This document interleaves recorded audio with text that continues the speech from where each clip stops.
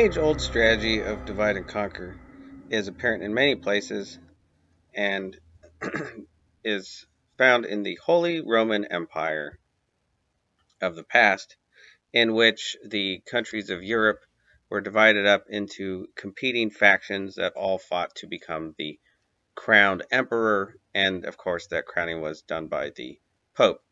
Now this is part of something called the tectonic theory, which in school we are taught has to do with the plates on the earth. But in fact, there are many ways that the tectonic theory can be applied.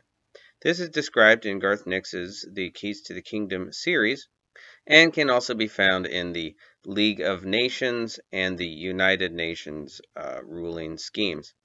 It basically takes place when a person in in a metaphor would move the pieces of a chessboard, uh, rather than the plain pieces, they would actually move the tiles in which the pieces move on themselves, thus shifting the ground itself and moving around the um, the plates. It's the idea of tectonic warfare.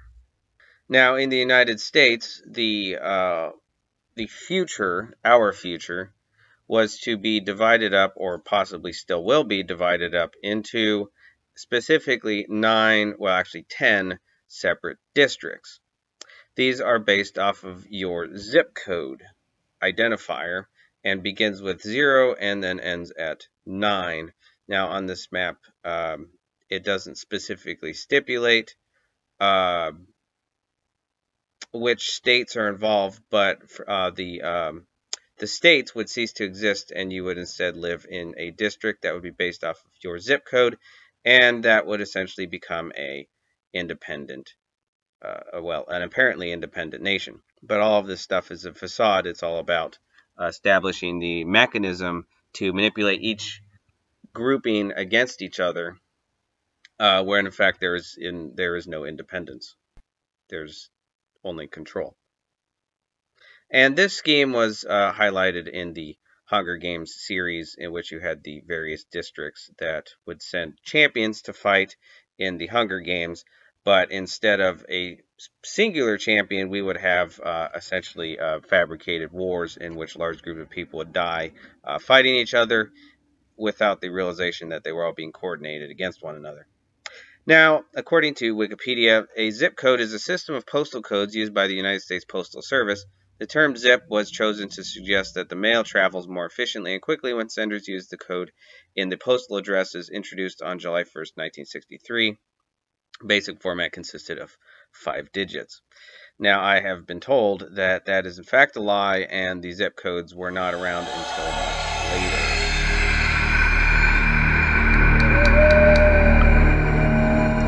Now, when it comes to the idea of controlling perception, the oldest uh, the oldest page in the book would be the control of publication. Essentially, uh, it's the idea of the gatekeepers that keep people from actually uh, publishing.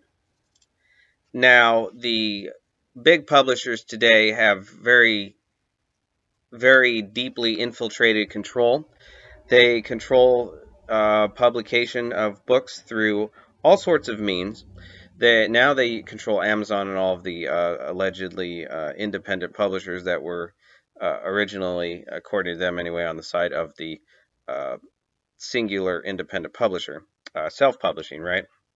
That's the term, and it's obviously a bad term when used by the individuals that call themselves traditional publicists.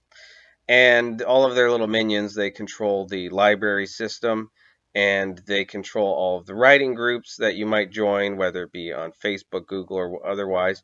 And of course, they would only present the ones that they are in control of. So they control every aspect of it.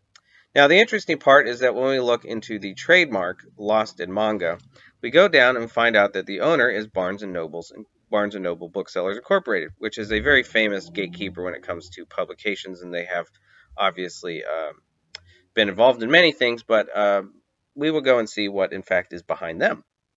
Now their address is listed in New York, but the state or country in which they were uh, organized is Delaware, no surprise there. And I would posit that the actual quote unquote government, the corporate government that rules us today uh, based off foreign interest, is actually uh, has their capital in Delaware because it appears to it appears that all major business filings they all go back to Delaware.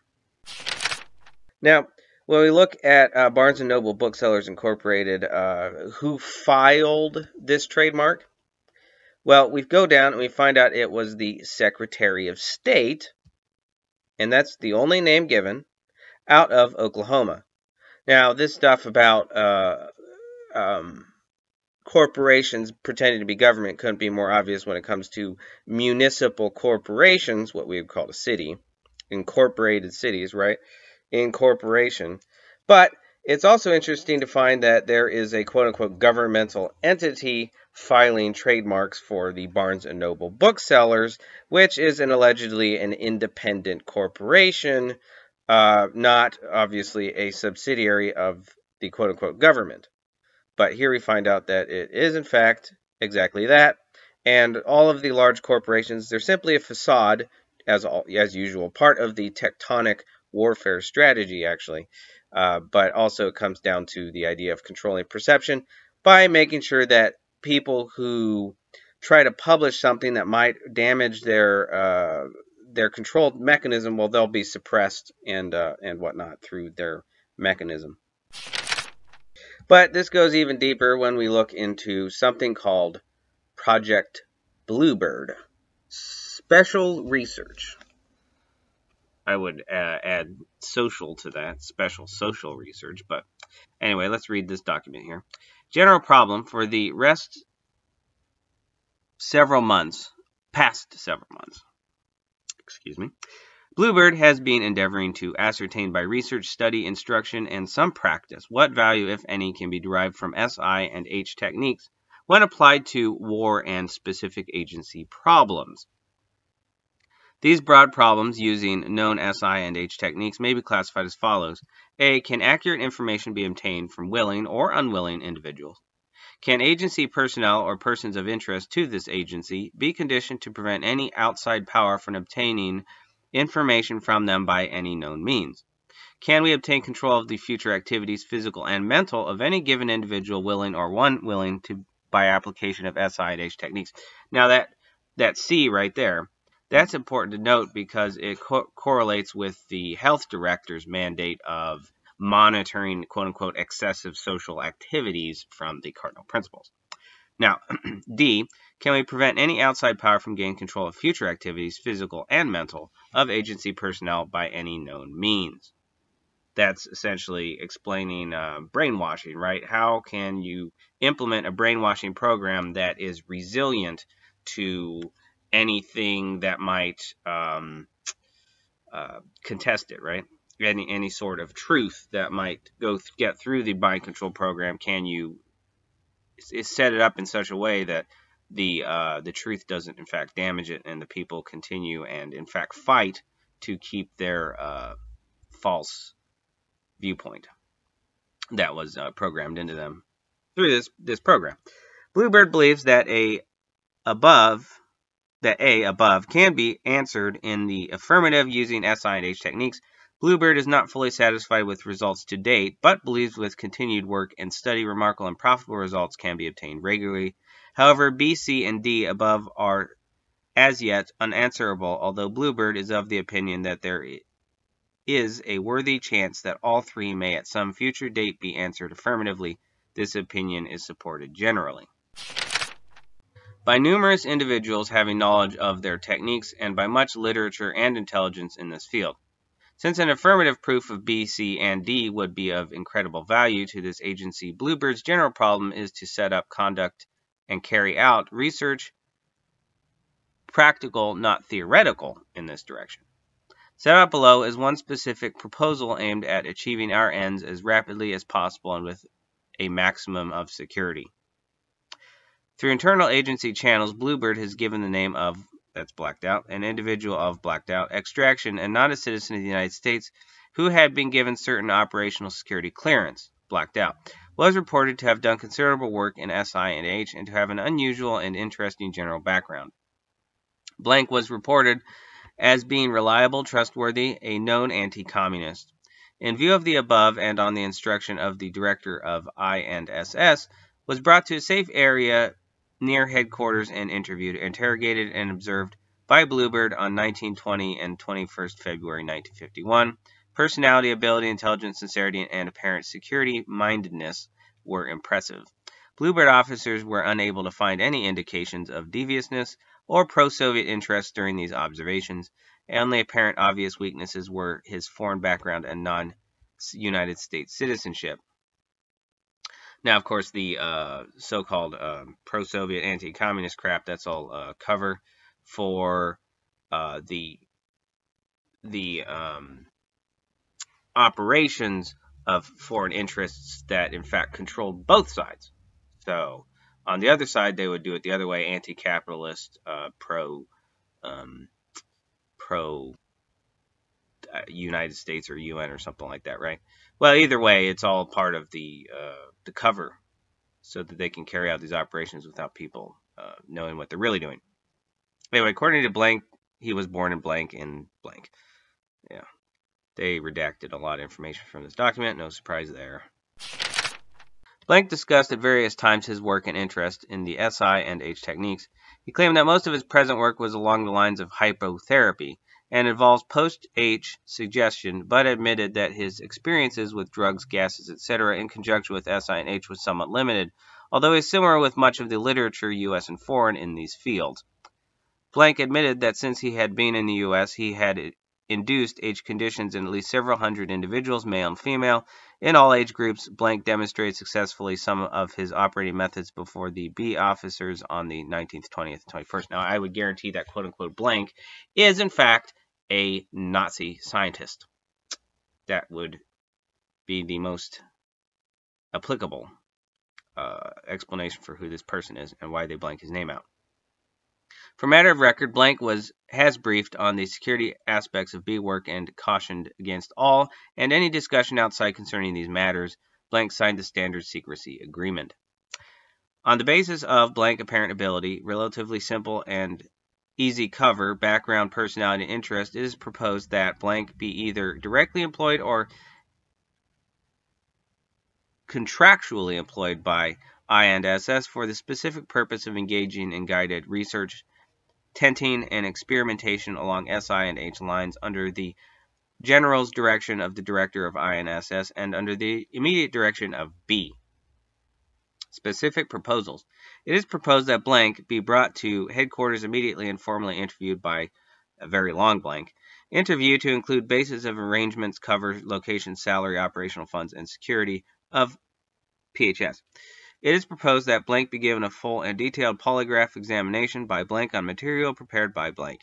It is proposed that immediately a full field investigation be started on blank, include checking of all names, places, squadrons, etc. mentioned by him. High priority.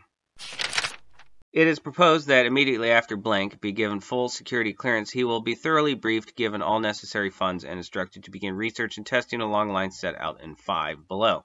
It is proposed that after minimum time to permit, blank full opportunity to satisfactorily become operational. B officers and trainees will, under suitable cover, participate in and assist with the research and testing for purposes of training and experience. Bluebird specific problems. Set up below are specific problems which can only be resolved by experiment, testing, and research as proposed in the paragraphs above. These are not in any sense all of the problems B is considering, but are merely typical and point up the need for practical research. 1. Can we condition by post-H suggestion agency employees for persons of interest to this agency to prevent them from giving information to any unauthorized source or for committing any act on behalf of a foreign or domestic enemy? 2. Can we use in a matter of an hour, two hours, one day, etc., induce an H condition in an unwilling subject to such an extent that he will perform an act for our benefit, long range. Can we create by post-H control an action contrary to an individual's basic moral principles? 4. Could we seize a subject and in the space of an hour or two by post-H control have him crash an airplane, wreck a train, etc.? Short, immediate activity. 5. Can we, by SI and H techniques, force a subject, unwillingly or otherwise, to travel long distances, commit specific acts, and return to us, or bring documents or materials? Can a person acting under post-H control successfully travel long distances? 6. Can we use SI and H to combat fatigue, produce extreme mental effort? Can we guarantee total amnesia under any and all conditions? 7. 8. Can we alter a person's personality? How long will it hold? 9. Can we design tests to determine whether or not an enemy agent has been conditioned by SI and H or any other method? 10. Can we detect SI and H by use of SI and H regression? Can we make a conditioned subject reveal by SI and H specifically how they were conditioned, drugs, torture, fatigue, hostage, pressure, techniques, um, question mark. 12. Can we devise a system for making unwilling subjects into willing agents and then transfer that control to untrained agency agents in the field by use of codes or identifying signs or credentials? 13. How long can we sustain a post-H suggestion unaided with reinforcement? 14. What would be fastest way to induce SI and H conditions with drugs or without any mechanical aids? 15. Can we devise a standard, simple, relatively fast technique for inducing SI and H conditions that can be used by untrained agents with or without drugs. It is, is it possible to find a gas that can be used to gain SI control from a gas pencil, odorless, colorless, one-shot, etc. What are full details on sleep-inducing machine? 17. How can sodium A or P or any other sleep-inducing agent be best concealed in a normal commonplace item such as candy, cigarettes, liquor, wines, coffee, tea, beer, gum water, aspirin tablets, common medicine, coke, toothpaste. How effective can the carotid artery technique be made? Can it be used while subject is unconscious? Is it faster than other techniques? Can we, using SI and H, extract complicated formula from scientists, engineers, etc.? If unwilling, can we extract details of gun emplacements, landing fields, factories, mines? Can we, while a subject is under SI and H control, show them a map and have them point out specific items, locations, etc. on the map? Can we also have them make detailed drawings, sketches, and plans? Could any of the above be done under field conditions and in a very short space of time? So now we come to Project Artichoke. Project Artichoke was a project developed and enacted by the Central Intelligence Agency for the purpose of researching methods of interrogation, preceded by Project Bluebird. Project Artichoke officially arose on August 20th, 1951, and was operated by the CIA's Office of Scientific Intelligence. I love these these obviously um, the, these obviously pro CIA, pro Roman, pro Jesuit uh, morons that write this crap, where they use the wor words like arose for uh, their special garbage.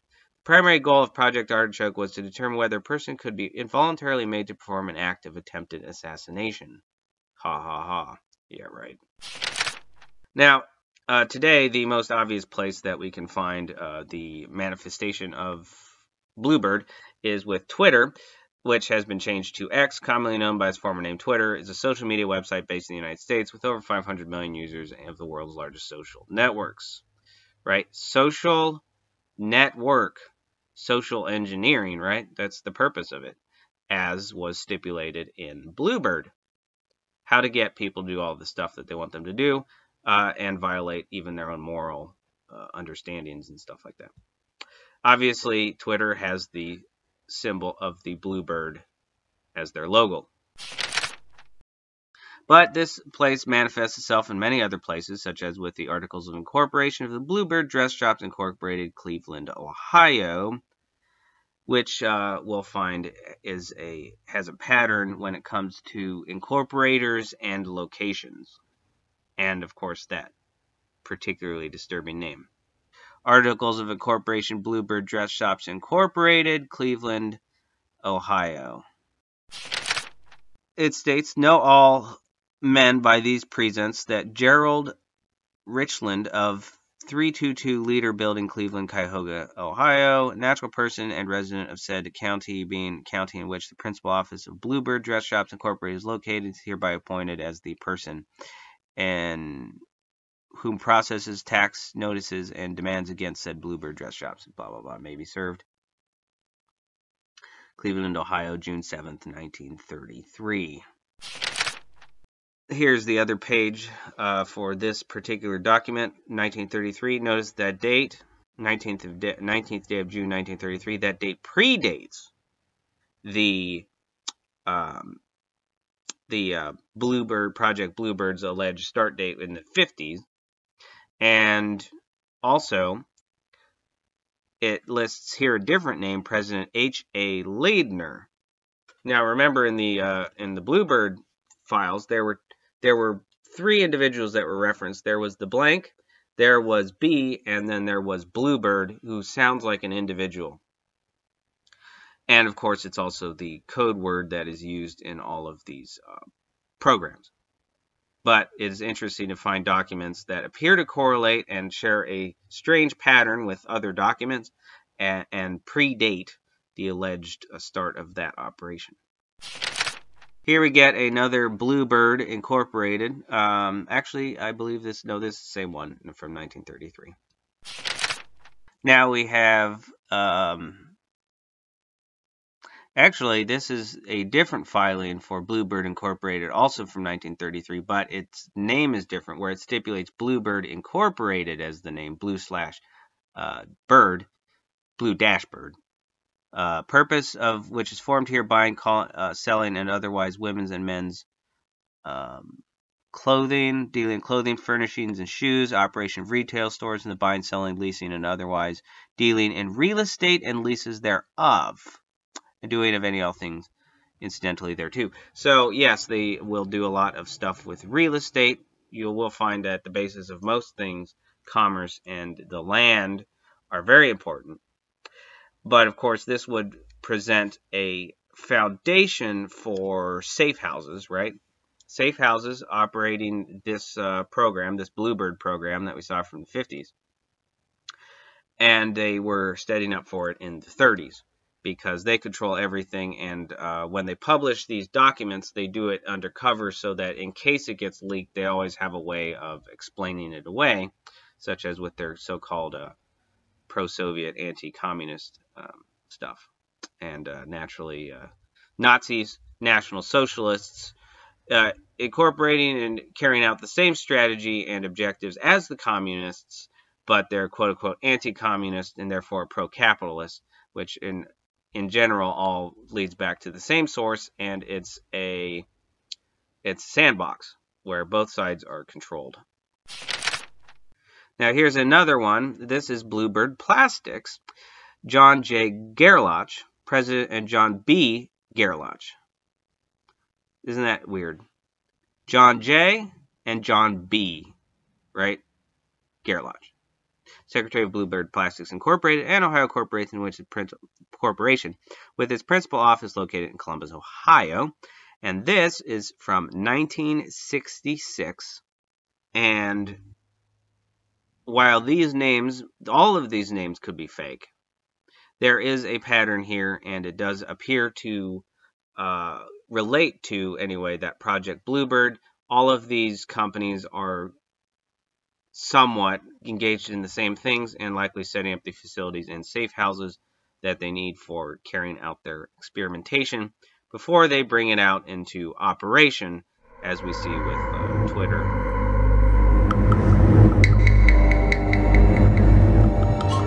Now, the next pillar of uh, our despicable opponents and uh, that control everything today, the so-called globalist cabal, or whatever you want to call them, we can find a good example of their revisionist element of lying. In fact, they have many ways that they lie, but revising uh, works and changing uh, history, rewriting history, is one of their primary uh, motives.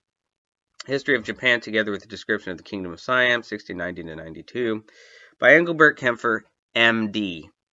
They would not have used the addition of M.D. in that century.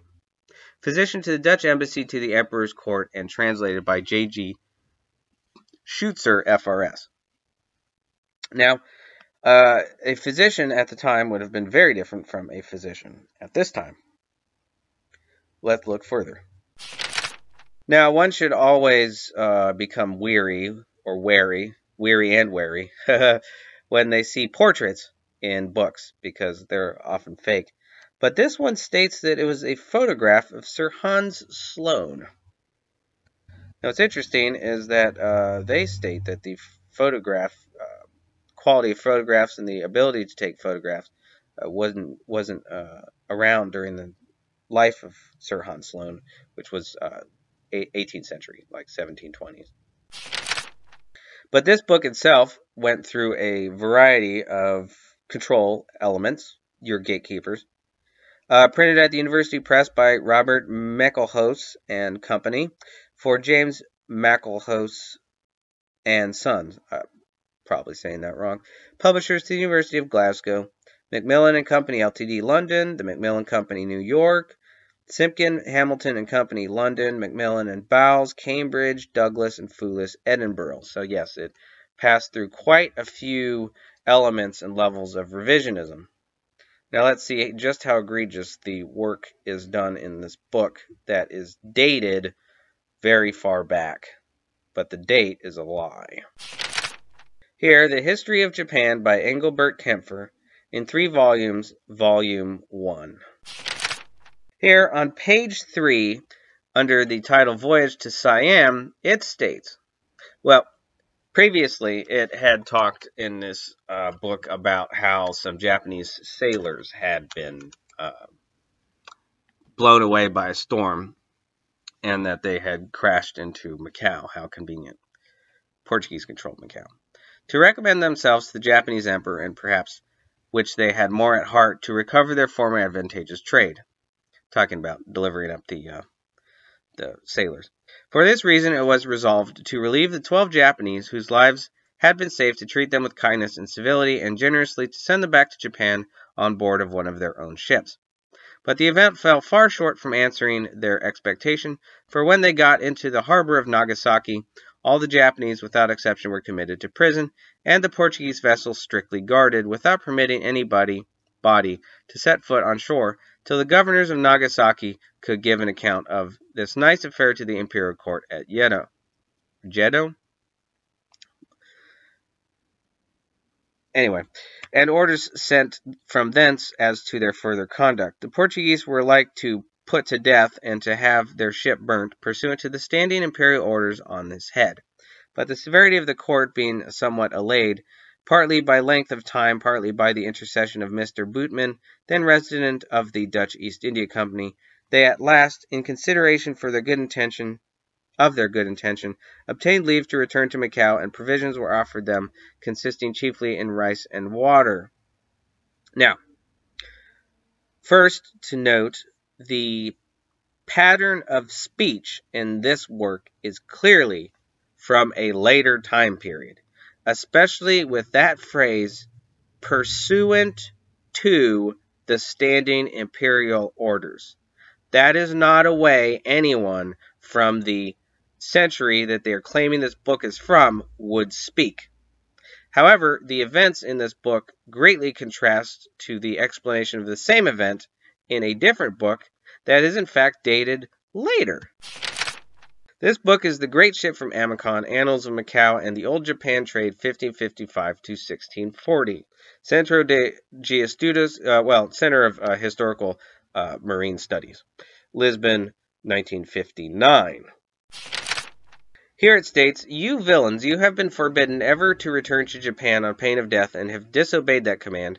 Last year you were guilty of death, but mercifully were granted your lives. Hence you have earned this time nothing but the most painful death. But since you have come without merchandise and only to beg for something, this sentence is commuted to an easy death. Versus, of course, the uh, other book where it said that they were uh, let go, basically.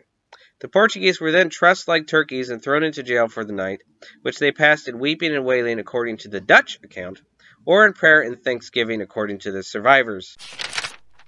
Next day they were taken to Martyrs Mount near Nagasaki, the scene of so many similar tragedies, where they were all beheaded except for the lucky thirteen. These last, after witnessing the execution of their 61 companions and the subsequent burning of their galliot with everything on board, were sent back to Nagasaki in a small Chinese junk on the 1st of September, with an insulting dispatch to the Senate of Macau. Informing them of the fate of their embassy and warning them not to try anything of the kind in the future. The citizens of Macau received the news with traditional Portuguese piety, many of them with tears of joy in their eyes, congratulating each other on such a piece of good fortune, especially the families and relatives of the martyrs, all of whom dressed not in mourning but in gala clothes, etc., etc., blah, blah, blah, lie, lie, lie.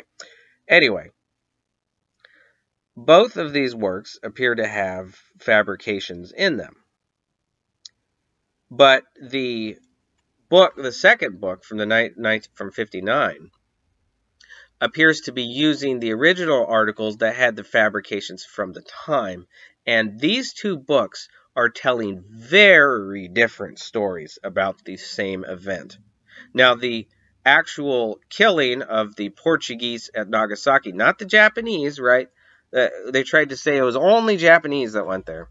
Uh, well, that is the reason for Pearl Harbor, as I referenced in my other video, and the super suspicious bombing of Nagasaki is clearly a uh, corroborative element that proves that they were that the second the second story is the true one, the one where they were actually all killed, not the first where they were all let go and nothing happened and everything was hunky dory and the person was writing with um, 21st century language using the phrase pursuant to standing imperial orders. Quite ridiculous.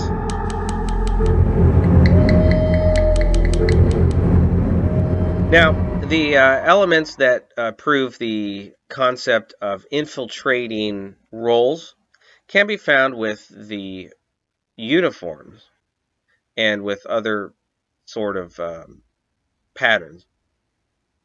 So the U.S. Army uniform is green. It's a green jacket, tan shirt, black tie. It's the dress uniform. Now this is similar to the Wehrmacht uniform, which also bears resemblance to the U.S. Marine Corps uniform.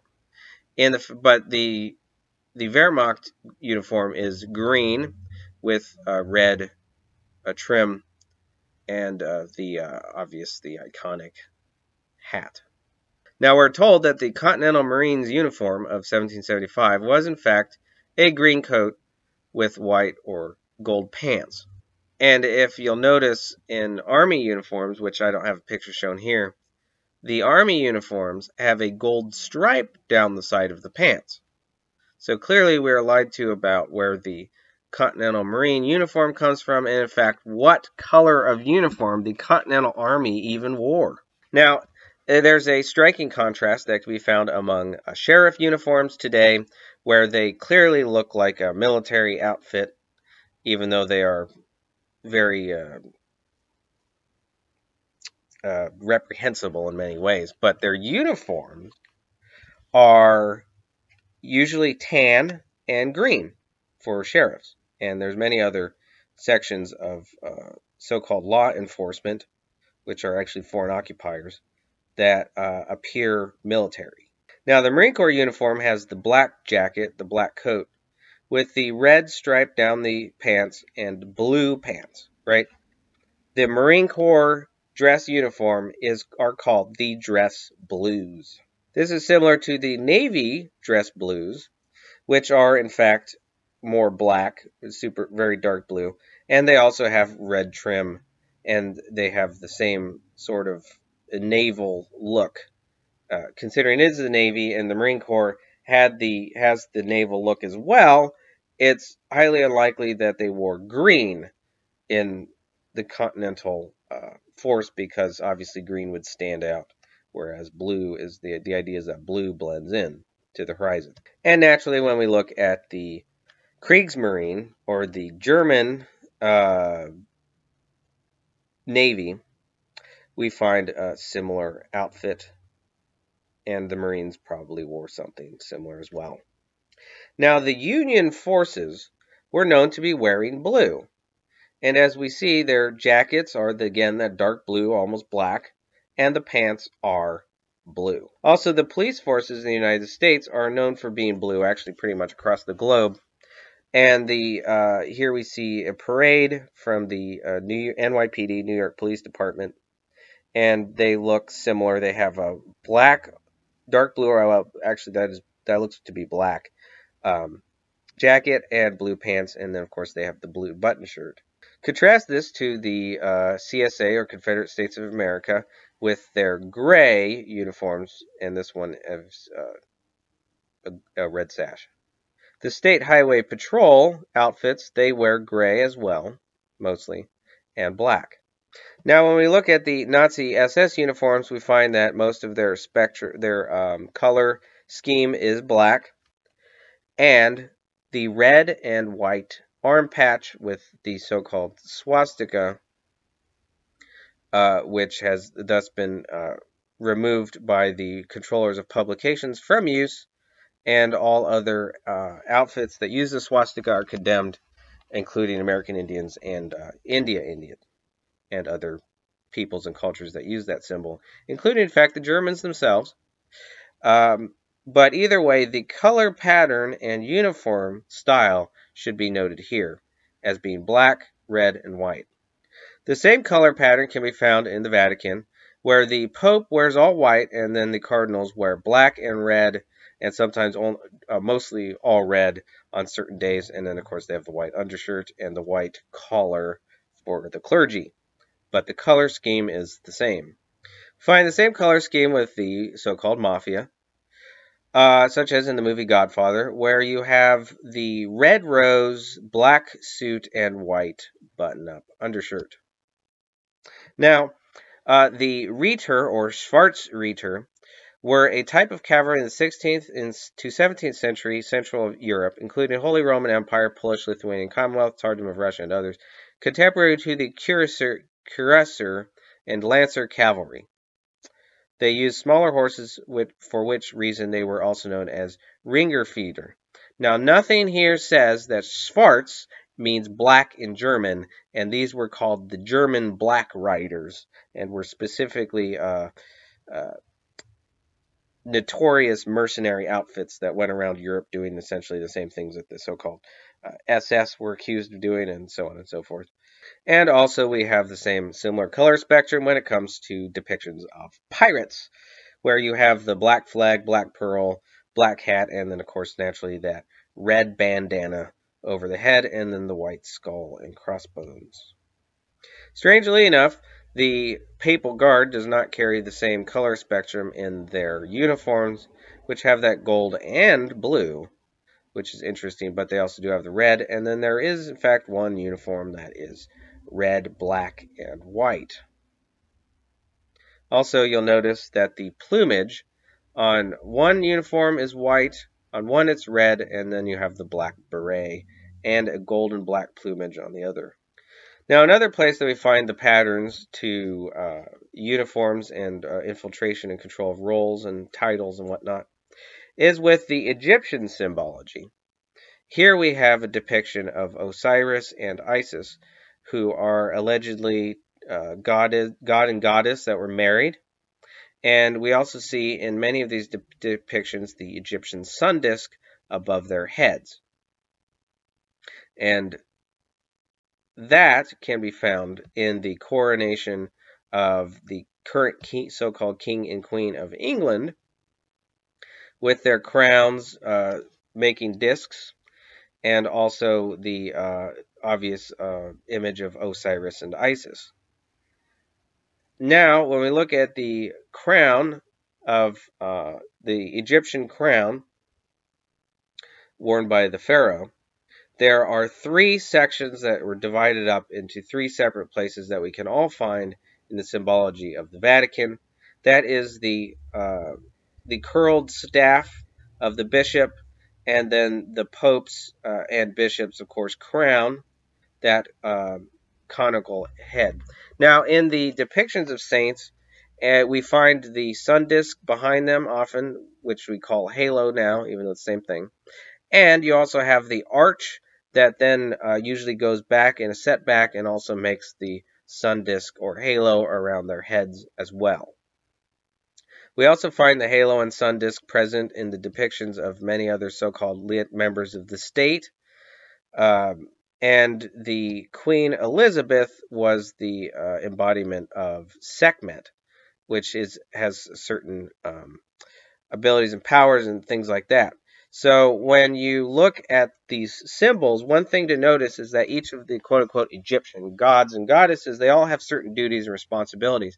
And when you see the manifestation uh, in so called leaders of state and all that stuff of certain gods and goddesses, it is a communication of what their purpose is and what they're going to do.